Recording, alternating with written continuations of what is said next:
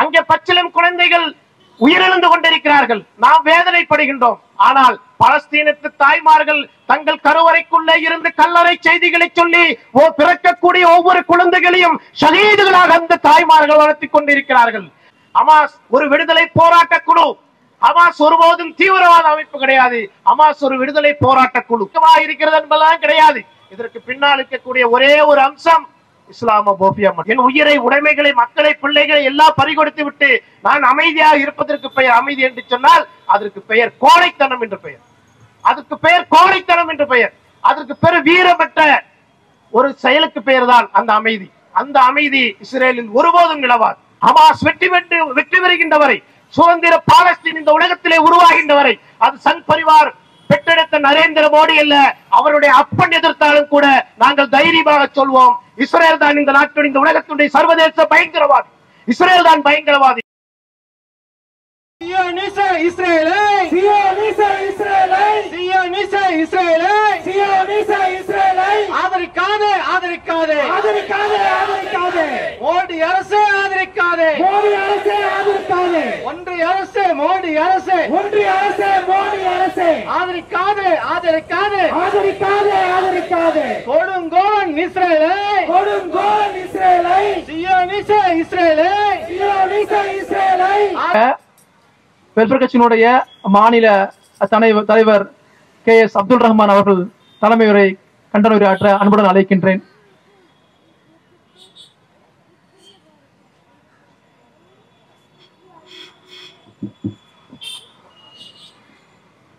யா சலாம் அஸ்ஸலாம் இந்திஃபாதா இன்குலாப். அல்லாஹு அக்பர். பயங்கரவாத இஸ்ரேலை கண்டித்தும் இஸ்ரேலுக்கு துணை போகும் பிரதமர் நரேந்திர மோடியை கண்டித்தும் சுதந்திர பாலஸ்தீனமே நிரந்தர தீர்வு என்ற முழக்கத்தை முன்வைத்தும் இங்கே நடைபெற்றுக் கொண்டிருக்கக்கூடிய இந்த ஆர்ப்பாட்டத்திலே கலந்து கொண்டிருக்கக்கூடிய வெல்ஃபேர் கட்சியினுடைய மாநில நிர்வாகிகளே இஸ்லாமிய இயக்கத்தின் தோழர்களே கல்லூரி நண்பர்களே அரபு நாடுகள் ஒன்று சேர்ந்து சிறுநீர் கழித்தால் காணாமல் போகும் நாடுதான் இஸ்ரேல் என்று சொன்னார் ஆயத்துல்லா கொமைனி. ஆனால் இன்றைக்கு எழுபத்தைந்து ஆண்டு காலம் ஒரு ஜனம் ஒரு மக்கள் ஒரு சமூகம் திறந்தவெளி சால் சிறைச்சாலையில அடைக்கப்பட்டு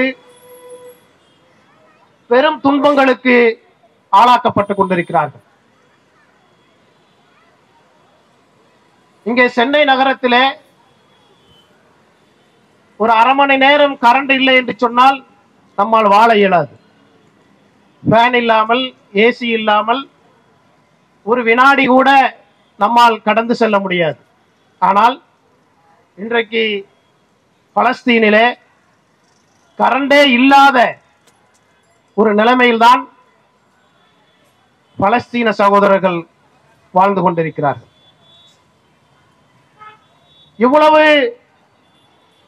தாக்குதலுக்கு பிறகும் சர்வதேச நெருக்கடிகளுக்கு பிறகும் இன்றைக்கு அமாஸ் உயிர் தெளிந்திருக்கிறது. எல்லாவித நெருக்கடிகளையும் கடந்து கொண்டு உயிர் தெளிந்து ஒரு சுப செய்தியை உங்களுக்கு சொல்கின்றேன். நீங்கள் உரத்து முழங்குவீர்கள் என்ற நம்பிக்கையோடு சொல்கின்றேன். இப்பொழுது தினத்தந்தி டிவியில ஒரு செய்தி ஒரு நிமிடத்திற்கு முன்னால் வந்திருக்கிறது.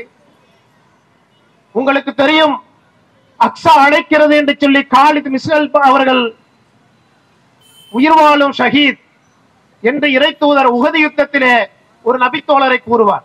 எதிரிகளால் வெட்டப்பட்டு உயிர் வாழ்ந்த ஒரு தோழரை பார்த்து உயிர் வாழும் ஷஹீத் என்று சொல்வதை போல இஸ்ரேலின் விச ஊசியிலிருந்து தப்பித்து உயிர் வாழும் ஷஹீதா இருக்கக்கூடிய காலித் மிசல் வெள்ளிக்கிழமை என்று உலகம் முழுவதும் இருக்கக்கூடிய பலஸ்தீனர்கள் பலஸ்தீனுக்கு வர வேண்டும் என்று அறைகூவல் விடுத்திருந்தார். உலகம் முழுவதும் இருக்கக்கூடிய சகோதரர்கள் சுதந்திர பாலஸ்தீனத்திற்காக வேண்டி பிரார்த்தனை செய்யுங்கள் என்று கேட்டிருந்தார். அந்த அழைப்பை ஏற்று இன்றைக்கு இப்பொழுது ஒரு நிமிடத்திற்கு முன்னால் வந்த செய்தி பலஸ்தீன படை ஹமாஸின் போராளி படை இஸ்ரேலின் படைகளை ஓட ஓட விரட்டி அடித்துக் கொண்டிருக்கிறது. இஸ்ரேலின் படைகள் சிதறிக் கொண்டிருக்கிறது என்ற மகத்தான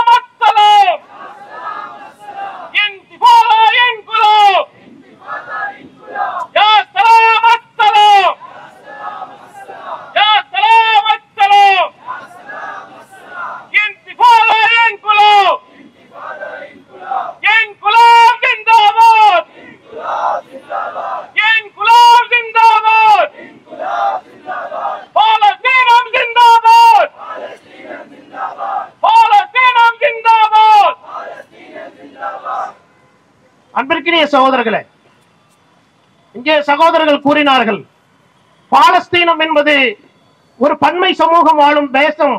இந்துக்களுக்கும் கிறிஸ்தவர்களுக்கும் முஸ்லிம்க்கும் உரியது என்று சொன்னார்கள். நான் சொல்கிறேன் அப்படி அல்ல. பாலஸ்தீனம் என்பது பாலஸ்தீனர்களுக்கு மட்டுமே சொந்தமானது. இதை நான் சொல்லவில்லை மகாத்மா காந்தி அவர்கள் சொல்கிறார்கள் பாலஸ்தீனம் என்பது பாலஸ்தீனர்களுக்கு மட்டுமே சொந்தம். பாலஸ்தீனம் என்பது அரேபியர்களுக்கு மட்டுமே சொந்தம். யூதர்கள் அங்கே வாழலாம். நான் ஒரு யூதனாக இருந்திருந்தால் மகாத்மா காந்தி சொல்கிறார் நான் ஒரு யூதனாக இருந்திருந்தால் ஒரு யூத தீவிரவாதியாக மாறி யூதர்களுக்கு எதிராக நான் செயல்பட்டு இருப்பேன் பாலஸ்தீனம் உங்களுக்கு இல்லை என்பதை அவர்களுக்கு உணர்த்தி இருப்பேன் என்று சொல்கிறார். ஆக பாலஸ்தீனம் என்பது அது பாலஸ்தீனர்களுக்கு மட்டுமே சொந்தமானது சகோதரர்களே. இங்கே சில சகோதரர்கள் சகோதரிகள் இந்த இடத்துல ஆச்சரியப்பட்டார்கள். எப்படி இவ்வளவு வீரத்தோடு அந்த அந்த சகோதரர்கள் போராடி கொண்டிருக்கிறார்கள். ஒரு சின்னஞ்சிறு சிறுவர் இரண்டு வயதுடைய ஒரு சிறுவன் தன்னுடைய ஒரு பக்க கையை இழந்து கொண்டு சிரித்த முகத்தோடு இரண்டு விரல்களை காட்டிக் கொண்டிருக்கின்றானே. எப்படி என்று ஆச்சரியப்பட்டார்கள். ஒரு சங்கி ஒருவன் எழுதுகிறான் தன் கணவன் இறந்து கிடக்கின்ற பொழுது அந்த கணவனுடைய மரணத்தை பார்த்து சடலத்தை பார்த்து ஒரு சகோதரி சந்தோஷ நிறுத்தம் ஆடுகிறாளே. அது எப்படி என்று சொன்னார்கள். அதுதான் ஹமாஸ் உள்ளே கொண்டிருக்கக்கூடிய வீரத்தினுடைய அடையாளம் என்று நாங்கள் சொல்கின்றோம். ஒரு காலகட்டம் உங்களுக்கு தெரியும். இறை தூதருடைய காலகட்டம். அங்கே ஒரு சகோதரி இருந்தார். ஹன்சா என்கக்கூடிய ஒரு சகோதரி. ஒரு போர்க்களத்திலே தன்னுடைய மகன்களை எல்லாம் இழந்து விட்டு மகன்கள் இறந்து விட்டார்கள் என்ற செய்தி வருகின்ற பொழுது அந்த மகன்கள் இறந்து விட்ட போர்க்களத்திலே மகன்கள் இறந்து விட்ட செய்தியை கண்டு எந்த விதமான பதற்றத்தும் அடையாத அந்த அந்த காலத்தினுடைய தோழர்கள் எந்த நம்பிக்கையை எந்த உறுதியை கொண்டிருந்தார்களோ அந்த உறுதியோடு தான் இன்றைக்கு பாலஸ்தீனத்தினுடைய மக்கள் போராடி கொண்டிருக்கிறார்கள்.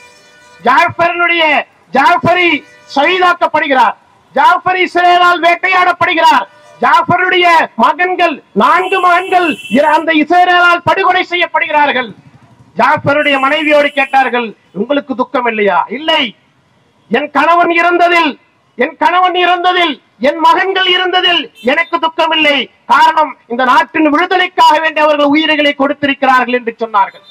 அங்கே பச்சிலம் குழந்தைகள் உயிரிழந்து கொண்டிருக்கிறார்கள். நாம் வேதனைப்படுகின்றோம். ஆனால் பலஸ்தீனத்து தாய்மார்கள் தங்கள் கருவறைக்குள்ளே இருந்து கல்லறை செய்திகளை சொல்லி ஓ பிறக்கக்கூடிய ஒவ்வொரு குழந்தைகளையும் ஷஹீதுகளாக அந்த தாய்மார்கள் வளர்த்தி கொண்டிருக்கிறார்கள். அந்த ஒரு மகத்தான போராட்டத்தினுடைய வெளிப்பாடுதான் இப்பொழுது ஹமாஸ் எடுத்துக் கொண்டிருக்கிறது. எழுபத்தைந்து காலம் எழுபத்தைந்து ஆண்டு காலம் ஆக்கிரம் சர்வதேச சதிகளுக்கு பின்னால் வீழ்ந்து கிடந்த ஒரு சமுதாயம். ஏன்? தங்களை சுற்றி இருக்கக்கூடிய அரபு நாடுகளுடைய சதிகள் அடக்கம். அரபு நாடுகள் இன்று இஸ்ரேலோடு தூதரகத்தை வைத்துக் கொண்டு உறவை ஏற்படுத்திக் கொண்டு ஹமாஸிற்கு பலஸ்தீனத்திற்கு பலஸ்தீன மக்களுக்கு மஸ்ஜிதுல் அக்ஸாவிற்கு துரோகம் இணைத்துக் கொண்டிருக்கக்கூடிய அரபு நாடுகளுடைய துரோகத்தை கடந்து இன்றைக்கு பலஸ்தீனர்கள் உயிர் போடு நிற்கிறார்கள் சொன்னால் அந்த மண்ணிற்கான ஒரு போராட்டம். அந்த போராட்டம் ஒன்றைக்கு இல்ல நாளைக்கு நிச்சயமாக வெற்றி பெற்றே தீரும் என்ற மாற்று கருத்தும் கிடையாது. இங்க சில சகோதரர்கள் சொல்கிறார்கள் ஹமாஸ் ஒரு தீவிரவாத அமைப்பு. ஹமாஸ் ஒரு தீவிரவாத அமைப்பு. ஹமாஸ் எப்பொழுது எப்கே தீவிரவாத அமைப்பாக மாறியது. ஹமாஸ் திருப்பி அடிக்கிறது. திருப்பி அடிப்பது எந்த விதத்திலே தவறு?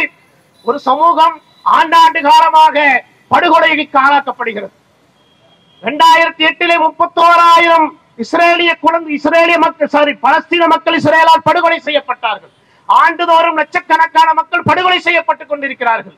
பெரும் நெருக்கடிகளுக்கு ஆளாக்கப்பட்டுக் கொண்டிருக்கிறார்கள். அந்த நெருக்கடிகளை தகர்த்தறிந்து கொண்டு ஒரு சமூகம் திருப்பி அடிக்கின்ற பொழுது திருப்பி அடிக்கக்கூடிய சமூகம் தீவிரவாத சமூகமாக எப்படி அடையாளப்படுத்தப்படும்? அது இங்கே இருக்கக்கூடிய முற்போக்கு சக்திகளுடைய போலி முகங்கள் தான் அங்கே வெளிப்படுகிறது. அமாஸ் ஒரு விடுதலை போராட்ட குழு ஹமாஸ் ஒருபோதும் தீவிரவாத அமைப்பு கிடையாது. ஹமாஸ் ஒரு விடுதலை போராட்ட குழு.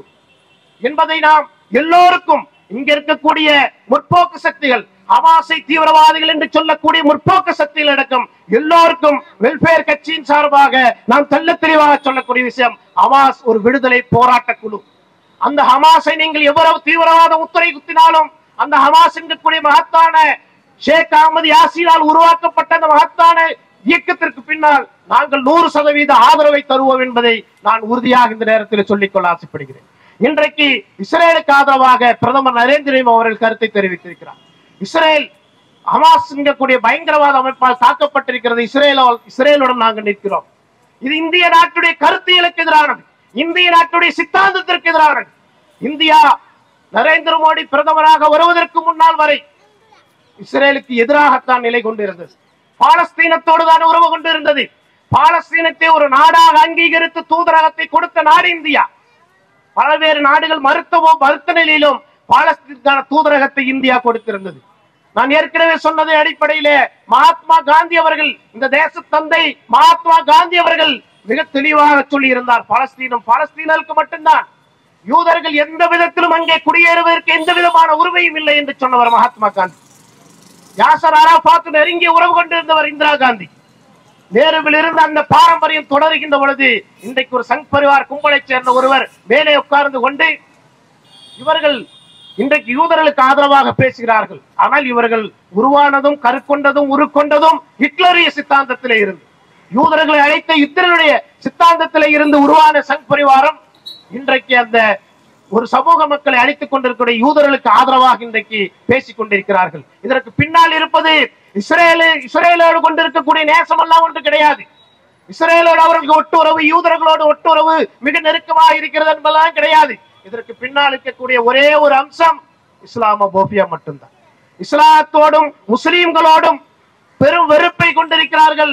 முஸ்லீம்களுக்கும் இஸ்லாத்திற்கும் எதிரான சர்வதேச அளவிலே தலைமை தாங்கிக் கொண்டிருக்கக்கூடிய ஒரு அமைப்பாக இஸ்ரேல் நாடாக இஸ்ரேல் நாடு இருக்கிறது. ஆகவே இஸ்ரேலுக்கு ஆதரவு என்கக்கூடிய ஒற்றை காரணத்தை தவிர வேறு எந்த காரணமும் இஸ்ரேலுக்கு ஆதரவு தெரிவிப்பதற்கு காரணங்கள் கிடையாது அந்த இஸ்லாமிய வெறுப்பின் மீது மட்டுமே சங் பரிவாரம் உருவாக்கப்பட்டு செயல்பட்டு கொண்டிருக்கிறது. அதைத்தான் அவர்கள் வெளிப்படுத்திக் கொண்டிருக்கிறார்கள். ஆக இஸ்ரேல் இந்த உலகத்திலிருந்து துடைத்து எறியப்பட வேண்டிய நாடு என்பதில் எந்த மாற்று கருத்தும் கிடையாது. இங்க ஒரு நிருபர் கேட்டார் நீங்கள் இப்படி ஆதரவு தெரிவிக்கிறீர்களே அமைதி திரும்ப வேண்டும் என்ற ஆசை இல்லையா என்று கேட்டார். ஆம் எங்களுக்கு அமைதி திரும்ப வேண்டும் என்ற ஆசை இருக்கிறது. ஆனால் அந்த அமைதி என்பது ஒரு பக்கத்து அமைதி கிடையாது.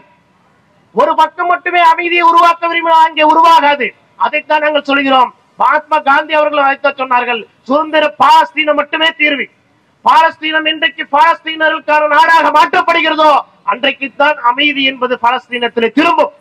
இஸ்ரேல் என்கக்கூடிய ஒரு நாடு அங்கே இருக்கின்ற வரை அங்கே அமைதி என்பது திரும்பாது. இஸ்ரேல் அடித்துக் கொண்டே இருப்பான் மக்களை படுகொலை செய்து கொண்டே இருப்பார்கள்.